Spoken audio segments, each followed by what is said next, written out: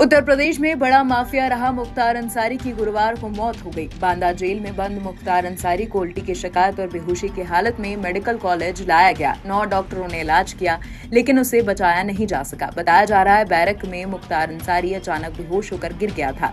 आज तीन डॉक्टरों का पैनल शव का पोस्टमार्टम करेगा। मुख्तार अंसारी को आज गाजीपुर के कालाबाग कब्रिस्तान में सुपर्द खाक किया जा सकता है। मुख्तार अंसारी की मौत के बाद प्रदेश भर में पुलिस अलर्ट मोड पर आ गई है। मुख्तार अंसारी की मौत पर अलग अलग नेताओं की प्रतिक्रिया भी सामने आ रही है।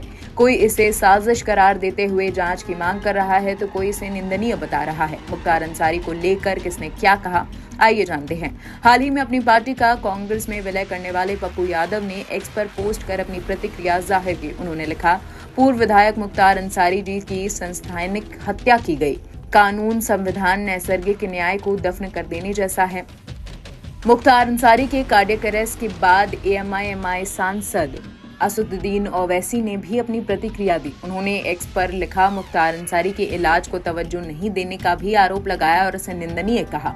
उन्होंने अपनी पोस्ट में लिखा, अल्लाह से दुआ है कि वो मुख्तार अंसारी को मगफरा अदा करें। उनके खानदान और उनके चाहने वाले को सब्र जमील अदा करें। गाजीपुर की आवाम ने पहले अपने चहेते बेटे और भाई को खो दिया है। मुख्तार अंसारी ने प्रशासन पर गंभीर आरोप लगाया था। इन्हें जहर दिया गया है। बावजूद उसके सरकार ने उनके इलाज पर तवज्जो नहीं दी। ये निंदनीय है और अफसोसजनक है। कांग्रेस ने मुख्तार अंसारी की मौत पर प्रतिक्रिया देते हुए इसकी जाँच की मांग की है। कांग्रेस प्रवक्ता सुरेंद्र राजपूत ने कहा, जिस तरीके से मुख्तार अंसारी ने कुछ दिन पहले हत्या की आशंका जताई थी कि उन्हें धीमा जहर दिया जा रहा है, अब उनकी मौत हो गई है। तो ये उनकी बात की पुष्टि होती हुई दिखाई दे रहा है। प्रशासन निर्लज तरीके से कह रहा है कि हार्ट अटैक से मौत हुई है। शासन और प्रशासन ये बात मानने को तैयार नहीं है कि उनसे गंभीर चूके हुई है। तरीके से आरोपी मुख्तार अंसारी की जेल में मौत हुई है, वो उत्तर प्रदेश की भारतीय जनता पार्टी की सरकार पर गंभीर प्रश्न खड़े करती है। इससे पहले एक आरोपी मुन्ना बजरंगी जेल में ठोक दिया जाता है। तमाम आरोपी अस्पताल जाते वक्त हत्यारे अपराधी उनको खुलेआम मार के चले जाते हैं। कोई अपराधी कचहरी में कत्ल करता है और मार दिया जाता है। क्या ये उत्तर प्रदेश की कानून व्यवस्था है? इस तरीके से शासन प्रशासन चलेगा? इस तरीके से जेलें चलेंगी? मुख्तार अंसारी ने कुछ दिन पहले आरोप लगाया था कि उन्हें धीमा जहर दिया जा रहा है। और आज प्रशासन बता रहा है कि उनकी दिल का दौरा पड़ने से मौत हो गई। इसकी उच्च स्तरीय जाँच होनी चाहिए। हाई कोर्ट के सिटिंग जज के सुपरविजन में जाँच हो, ताकि पता चले लोगों को कि जेलों में क्या हो रहा है और उत्तर प्रदेश के शासन में किस तरीके का जंगल राज चल रहा है। देश कानून से चलना चाहिए, सजा देने का काम अदालतों का है।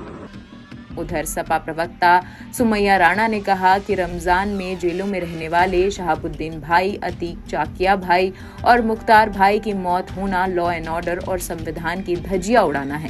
जिस तरह से जेल में रहते हुए मौतें हो रही हैं और उसे बीमारी का रूप दिया जा रहा है। भारतीय जनता पार्टी की सरकार में जिस तरह से जेल में होकर मौतें हो रही हैं, इसकी बड़ी जाँच होनी चाहिए। भीम आर्मी चीफ चंद्रशेखर आज़ाद ने एक्स पर पोस्ट करते हुए लिखा, पूर्व विधायक मुख्तार अंसारी जी का असामयिक निधन बेहद दुखद है। मैं विनम्र श्रद्धांजलि अर्पित करता हूँ। मेरी संवेदनाएँ उनके परिजन और समर्थकों के प्रति है। प्रकृति उन्हें ये असीम दुख सहने की शक्ति प्रदान करे। पूर्व में उन्होंने अपनी हत्या की आशंका व्यक्त की थी। मैं माननीय उच्च न्यायालय और उत्तर प्रदेश से उनकी मृत्यु की सीबीआई जाँच की मांग करता हूँ। आरजेडी नेता तेज प्रताप यादव ने कहा, यूपी के पूर्व विधायक श्री मुख्तार अंसारी के इंतकाल का दुखद समाचार मिला। ईश्वर से प्रार्थना करता हूँ, दिवंगत आत्मा को शांति दे तथा शोकाकुल परिजनों को दुख सहने की शक्ति प्रदान करे। बिहार के डिप्टी सीएम रहे तेजस्वी यादव ने एक्स पर लिखा, यूपी के पूर्व विधायक मुख्तार अंसारी के इंतकाल का दुखद समाचार मिला। परवरदिगार से प्रार्थना है कि दिवंगत आत्मा को शांति तथा शोकाकुल परिजनों को दुख सहने की शक्ति प्रदान करे। कुछ दिन पूर्व उन्होंने शिकायत की थी कि उन्हें जेल में जहर दिया गया, फिर भी गंभीरता से नहीं लिया गया। प्रथम दृष्टिया से न्यायोचित और माननीय नहीं लगता है। संवैधानिक संस्थाओं को ऐसे विचित्र मामलों और घटनाओं पर संज्ञान लेना चाहिए।